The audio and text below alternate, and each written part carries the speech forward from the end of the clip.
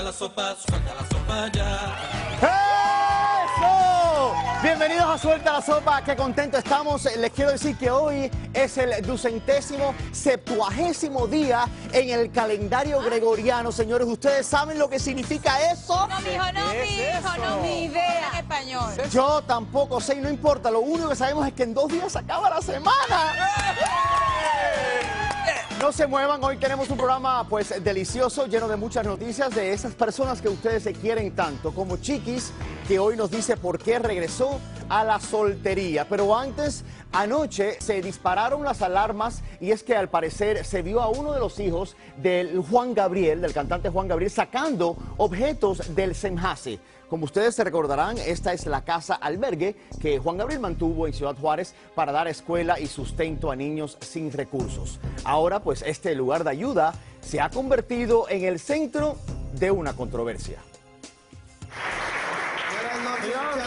Desde que Juan Gabriel fundó la Casa Hogar Semjase en 1987, se hizo cargo de los gastos completos del inmueble, que para el 2010 ya ascendían a 20 mil dólares mensuales. Anoche, alrededor de las 10.30, notamos gran movimiento en la propiedad que por años fue albergue de niños sin hogar o hijos de madres solteras. En su interior, logramos captar a Alberto Aguilera Jr., hijo mayor del Divo de Juárez, en medio de una gran movilización de autos, tratando de sacar algunas pertenencias del lugar. Por lo que algunos vecinos pensaron que se trataba de un saqueo de la propiedad. En un principio, la policía local no permitía que se extrajera nada de la casa, misma en la que logramos captar a la señora Alejandra Vargas, exdirectora de Semjase, cuando abandonaba la escena, quien a pesar de que le insistimos con preguntas, no dio ninguna declaración. En las imágenes se puede ver al hijo mayor de Juan Gabriel dentro tratando de sacar cosas, señora. ¿Qué es lo que, que le dicen a usted? ¿Qué, qué le han dicho hasta ahora? Maestra, ¿por qué no hablar del tema? ¿Hay algún temor de algo? ¿Usted logró contactar al hijo de Juan Gabriel allá adentro?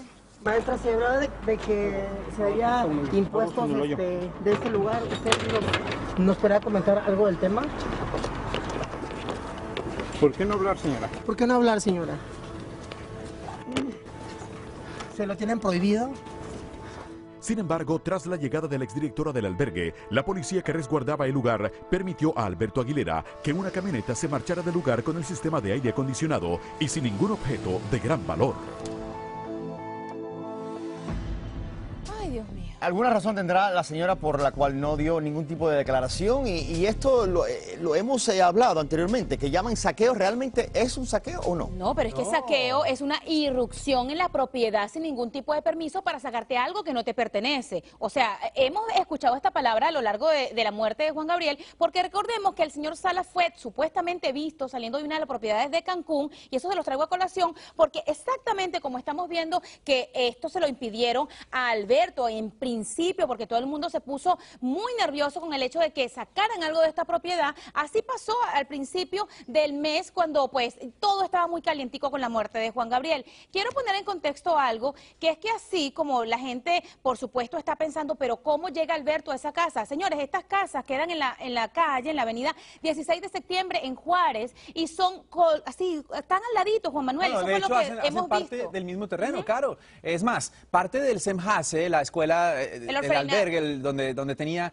eh, Juan Gabriel a niños eh, de bajos recursos, cuidándolos y, por supuesto, dándoles lecciones y eh, escuela de música, pues pertenece a la Casa del Alerdo, que es la casa donde está viviendo Alberto Aguilera Jr., el hijo mayor de Juan Gabriel, que es propiedad de Silvio Orquidi. ¿Qué sucede? Silvio Orquidi decidió, junto con Alberto Jr., limpiar un poco el, el albergue porque estaba cayéndose. Y en ese momento que comienzan a cortar césped y a hacer cosas, se dan cuenta que el motor del aire acondicionado que le habían robado a la casa del Alerdo, donde vive Alberto Jr., estaba justamente allí, en el Semjase, y lo sacaron. Claro que lo sacaron legalmente, por supuesto, y por eso fue la directora allí y hablaron entre abogados y se lo pudo llevar. ¿A quién porque simplemente. Y- pero la noticia Bueno, era saquean el Semjase. Eso no fue así. Hay que dejar claro una cosa también para que la gente no se confunda. Esta propiedad no tenía nada de valor dentro del SEMJASE. Lo único que nosotros hemos visto, porque estuvimos ahí hace año y medio, recordarán, de hecho tenemos las imágenes, hemos visto que tienen las camas, tienen la cocina, pero realmente nada de valor, no había nada de ahí que pudieran extraer.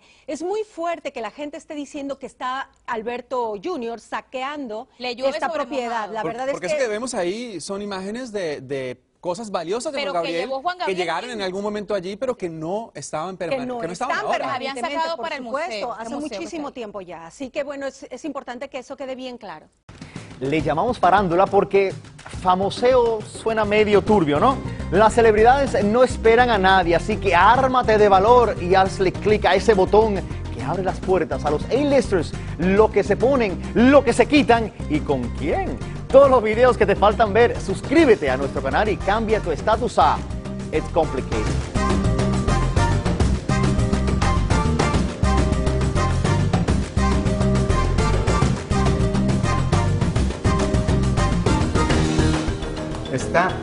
Loca, pero la adoro con toda mi alma y ella me, me adora, entonces llevamos una relación, pero sí es, es sentida, sentida, o sea, ya te oí, ¿eh? que andas diciendo, es que no me has hablado, no sé cuándo.